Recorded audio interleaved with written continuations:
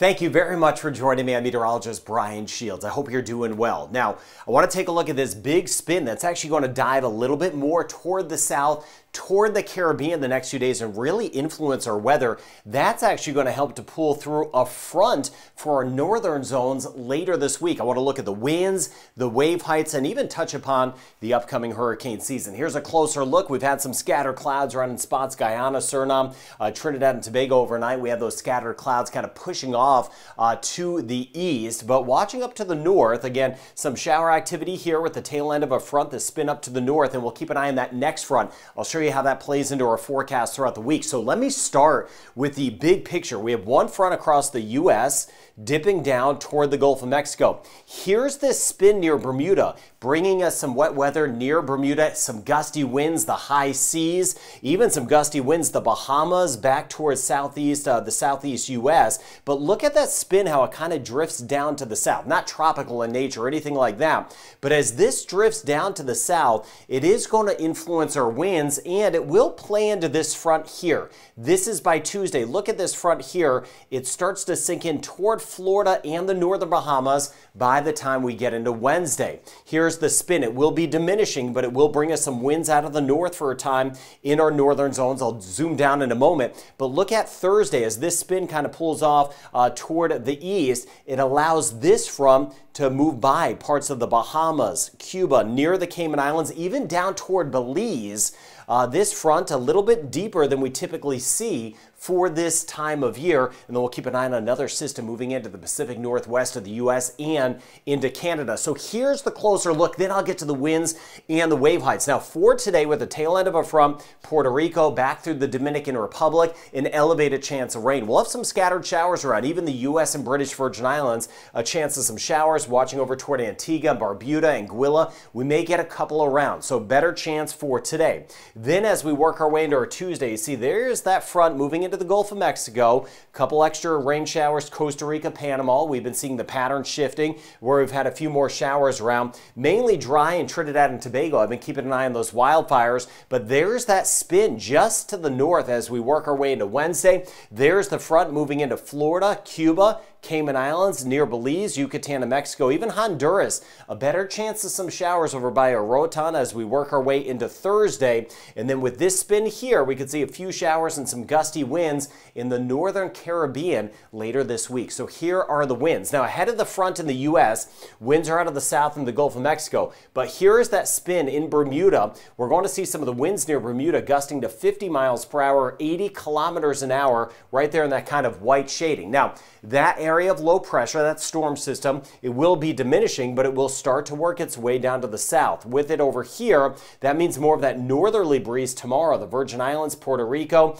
and the Dominican Republic. And then as we get into later in the week on Wednesday, you see that spin right there, giving us that northerly breeze throughout uh, the southern Bahamas, Turks and Caicos, through Haiti, the DR, and Puerto Rico. And then that spin starts to work its way off to the east. And then we watch out for that next front. I mentioned how it's going to help pull in the next front. So southeast U.S. back toward the Gulf of Mexico. And look at these northerly winds on Thursday in Cuba. We could see this front sink a little bit more to the south than we would typically find a front for this time of year. Now, as far as the wave heights go, they are going to be cranking up. Uh, you see again in the Atlantic waters, watching over toward the Bahamas, north side of Puerto Rico, Haiti, and the DR. We're going to be looking at some of those seas over three uh, meters, uh, which would be anywhere from about upwards of about 10 plus feet uh, easily. So things as a whole in the Atlantic, because of that storm system out there, those seas are going to be really elevated. You see meters here on the scale, feet on the right-hand side of your screen. Doing my best to keep everyone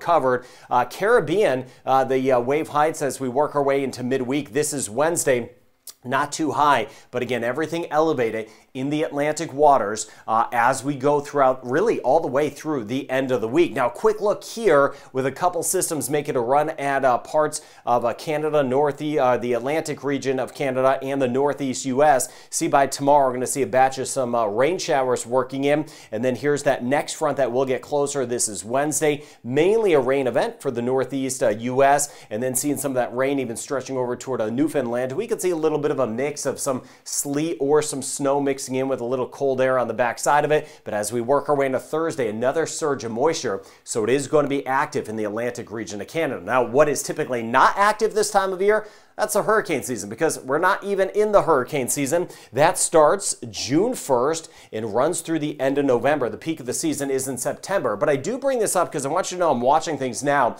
Uh, occasionally we get a, a, named system before June 1st, so even before the beginning of the season. And we're just about a couple months away at this uh, point. Water temperatures are warm, so I'll monitor that. As we look at the upcoming hurricane season, the first name on the list is Alberto, then Beryl, Chris, Debby, or Ness Francine, and then Gordon after that. We'll see how far we get down the list, uh, and we'll see where these systems will go. Hopefully they stay over the water, but again, a wait and see. But I do expect kind of a, an earlier start to the hurricane season uh, this, uh, this year. All right, Jamaica for us, passing shower possible, and then we'll watch later this week to see how close that front gets. Same thing as we get through the Cayman Islands. We're going to see that front nearby later this week. Trinidad and Tobago watching the wildfires. We've had some ash around. We're going to monitor that, the lower air quality quality. Pass and shower in Barbados, but a slightly better chance tomorrow and Wednesday for us in St. Lucia.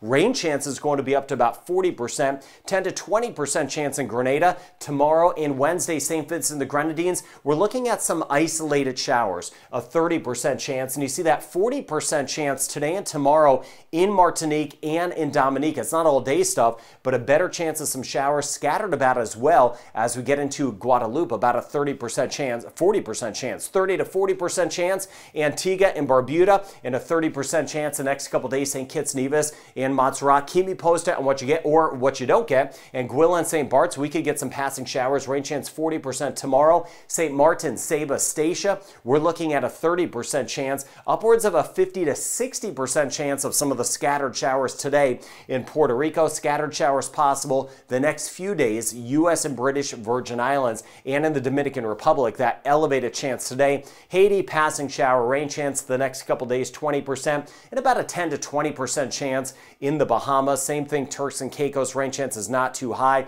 Cuba, we're kind of in between systems. We'll watch out for that front that will move in later this week. Same thing in Belize, late week. Rain chance will bump up some, even over toward uh, the Yucatan of Mexico. Not too high, but the rain chance will be a little higher. Aruba, Curacao, and Bonaire, mainly dry conditions with us. Not much in the uh, rain uh, department. Uh, Bermuda, again, watching that system nearby today, the higher chance of rain, higher seas, and the gusty winds. Still that system giving us gusty winds tomorrow. Costa Rica, Panama, rain chance about 40 to 50%. As we work our way into Guyana and Suriname, about a 10 to 20% chance of a shower, 30% chance by midweek in Suriname, and a 10 to 20% chance in northern Venezuela. So it is getting a little busier. That Atlantic spin dropping down that could kind of pull in that front later this week. I'll monitor those wildfires and any earthquakes out there. And of course, hurricane season, that starts June 1st. So thank you so much for spending your time with me, and I hope you have a good rest of your day.